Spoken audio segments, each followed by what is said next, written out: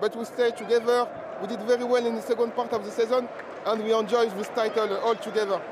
Welcome back to our channel. Today the topic that will be discussed is about N'Golo Kante and his lifestyle. But before we get started, subscribe to our channel to never miss any update. So without any further delay, let's get started quickly. The star player, N'Golo Kante, was born on March 29, 1991, to parents known as late Mr. and Mrs. Kante, whom he has loved the most. Talking about his early life, Kante's parents were migrants who migrated to France from Mali in 1980. The only motive of them was to seek greener pasture in Europe. However, due to their flexible energy, the Kante family succeeded in doing the most difficult work that came their way. Indeed, the Kante family was so hardworking, whatever they did, they completed it with perfection.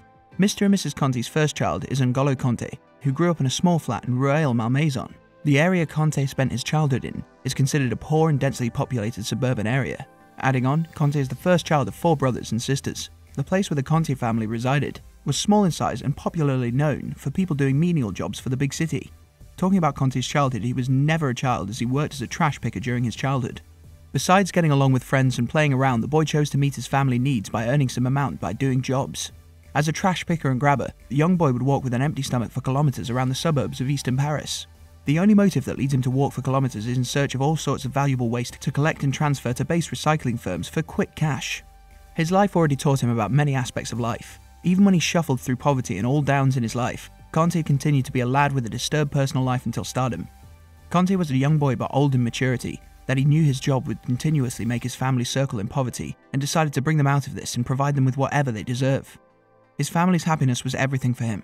No doubts, Kante had the final dream, a dream for any prestigious role or engagement that would pave the way for a poverty-free life for his family. N'Golo Kante's early life. As already mentioned, he is the first child of four brothers and sisters.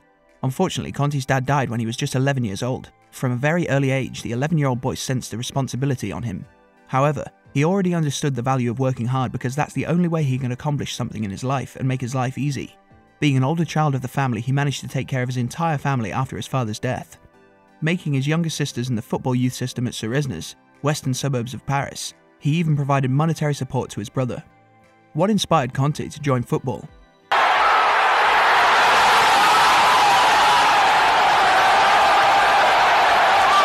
To be precise, the France 98 World Cup win is what inspired Kante's interest in football. After the France 98 World Cup, the country was changing in terms of promoting its star players. As a result, Kante saw France as an opportunity for his growth. He noticed a nation whose soccer fame grew essentially from migrants. Hence, Kante familiarized himself with seeing and hearing big names of the FIFA 1998 World Cup. The likes of Thierry Henry, Zinedine Zidane, Patrick Vieira, Lilian Thuram, and Nicolas Anelka were known to be household names to migrants who grazed the tournament. It motivated him a lot then, hence the 1998 World Cup victory brought about a turning point in terms of migrants' participation in French football, as well as offered them to nurture and nourish their future in the field. The World Cup hustle. As soon as Kante developed an interest in football, he made himself stick to it and continue his job as a trash picker and earn some more money. He covered every ground used by the tournament in Paris. His parents eventually saw their son progress so much and later assisted him financially to start his plans. Kante never watched a football match, but aimed to take football as a career, having noticed lots of youth clubs popping up close to his home. The beginning of new life.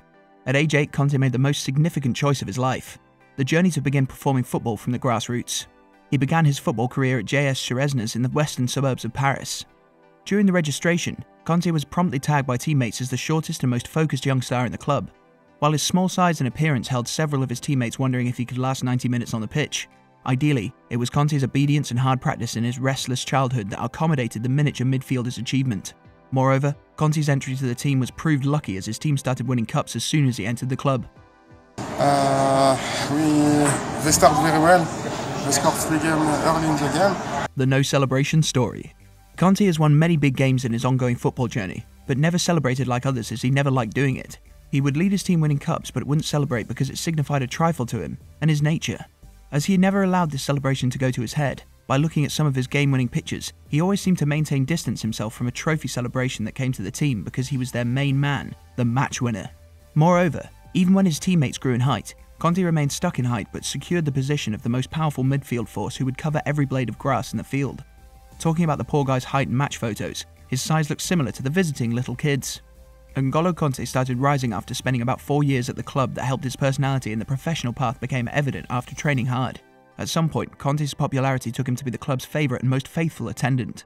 Moreover, the football star raised his income by joining a team of selected youth stars who took extra hours to train very young kids. Pierre Ville happened to be Kante's assistant manager at that time, and all due credits go to him for showing off a way to earn more for his family. According to Kante's assistant manager Pierre Ville, Kante continued outside the radar of big teams because of his small stature appearance. Adding on, he stated back then, Kante would perform tackles all day, take the ball from one end of the pitch and would carry it to the other length of the field. That was his private training routine taught by no one, Another of his good pals, Francois Lemoine, stated that when he was under 18s, Kante was under 15s and already used to play with them, while another friend of Kante said that he was smaller than everyone yet no one could get beyond him. While some teammates learned a lesson in humility from Kante, Kante was the one member of the team who would listen and do absolutely everything asked of him, like truly anything in his hand. All together we fight for this result and at the end is uh, this is beautiful to win this kind of title together.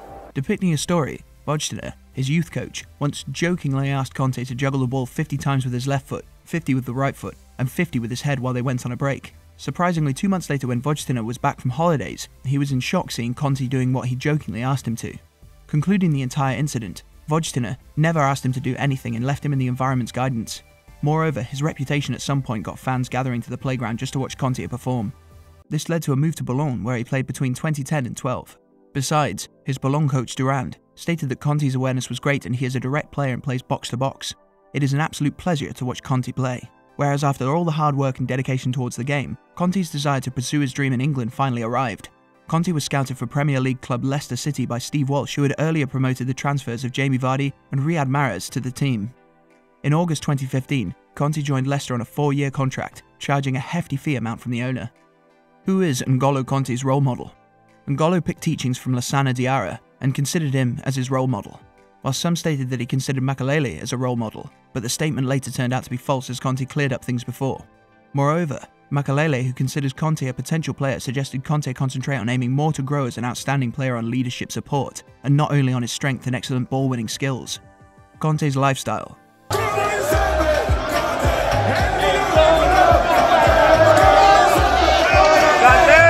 Kante is a very simple living kind of a person and never showed off his wealth before society. Moreover, he has never had a showy car or expensive clothes. Whereas at the start of his professional career at Chelsea, he travelled to training by a kick scooter. As of the 2018 season, he drove a Mini Cooper. He's an absolute stunning player and an inspiration to many. There's a lot to learn from him and hope every person succeeds in their life. So, that's all for today's video. Thanks for watching the video. If you enjoyed it, make sure you hit like and subscribe to our channel. Let us know your thoughts in the comment section.